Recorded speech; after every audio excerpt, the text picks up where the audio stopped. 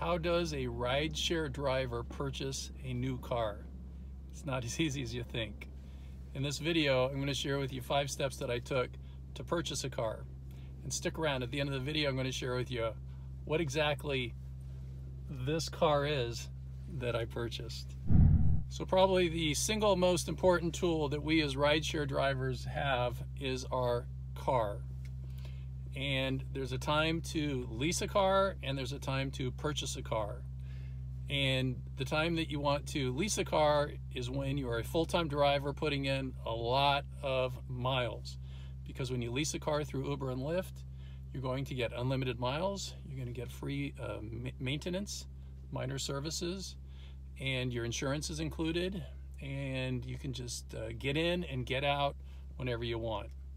Now, when you get to this point in my career where I'm not driving quite as much, um, I've decided I wanted to go and purchase a car. It's not as easy as you think. Um, I tried to get a $5,000 loan to get my Prius. That's what the, uh, the, the like the trade-in value was. I had to pay at the end of my lease $5,000 to get the car and I went to two different banks and they both turned me down, which is crazy. It was like a hundred dollar a month payment, and I have a 750 uh, FICO score, but I didn't know what they were looking at. And I'm going to cover some of that in this video. So let's get started with step number one. Step number one is know what you want. So when I started out, I thought I'm just going to get another Prius.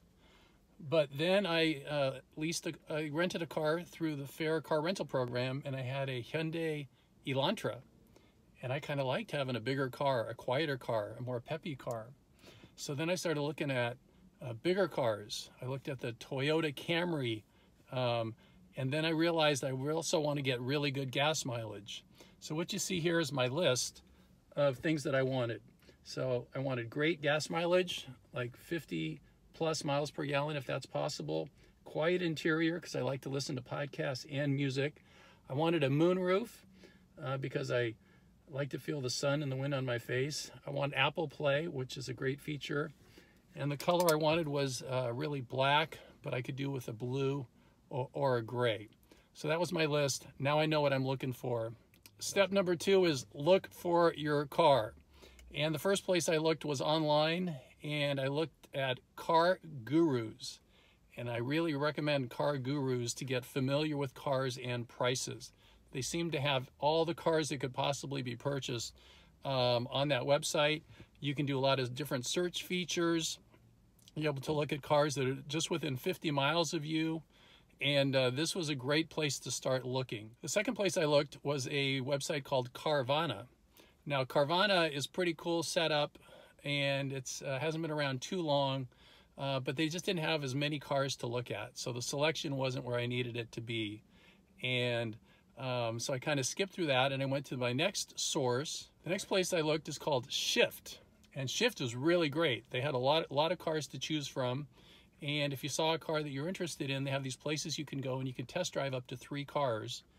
And uh, then you can work out the financing with them and move forward. So that gave me a lot more information and I got to look at some other cars and I was ready to go look at a, a car. But then I realized that um, I need to get financing. So let's talk about financing.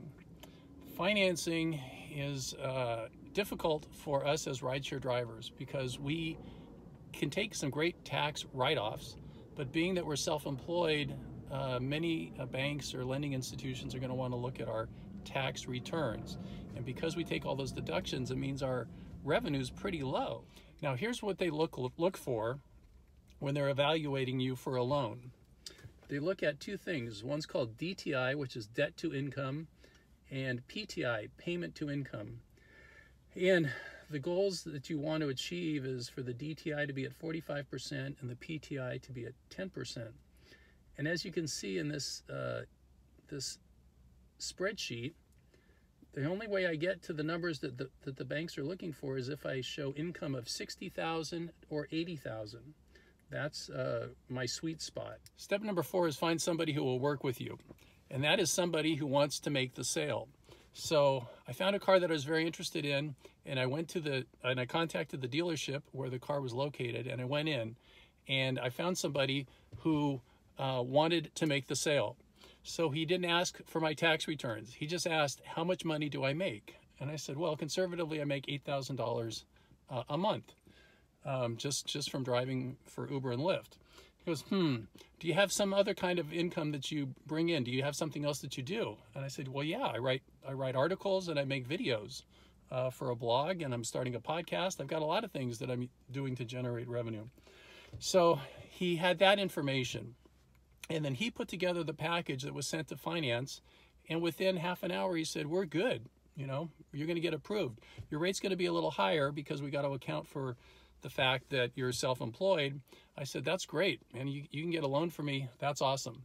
So, lesson to be learned is to find someone who will be an advocate for you who wants to make the sale. Just go into a bank, they don't care. They're just looking at dollars and cents. But if you find someone who wants to make a sale because it helps him to make a sale or her to make a sale, they're going to figure out creative ways to get you through the system. And that's exactly what happened here. Step number five is go get your car. And I went and got my car. And here's my car. I got a 2017 uh, Honda Accord Hybrid. It's a beautiful car. It's got a little scratch here and a little ding here. It's a used car. It's got 35,000 miles on it, but I got a good deal for it and I was able to purchase a car. So the other benefit of purchasing a car is that you're going to get this car loan put onto your credit report. And that's different than having a uh, credit card. So this was a big win for me. So it was a huge day. It was a big win. I got to drive away in my new car. And uh, that's what I've been driving now for the last uh, couple of weeks. And I've been loving it. It's quiet, it's roomy, it's black. That's my good color. And it's got a moonroof. And it gets, I've been getting about 45 miles per gallon. So not as easy as you'd think. In summary, not as easy as you'd think for us to get a, a new car. Um, but uh, it, it, finally it finally happened as I dove into it. And I hope all the little details I shared with you can help you if you're in a position where you want to get a, a different car uh, for your rideshare career. Y'all go out and have a great day. This is Jay Cradeur with the Rideshare Guy. Thanks for watching. If you haven't subscribed yet, subscribe to this YouTube channel. We've got great content. If you're a rideshare driver, you want to stay on top of things that are happening in the industry. And we're always giving you lots of tips and techniques and ways for you to make more money in less time. Work smarter, not harder. Be safe out there.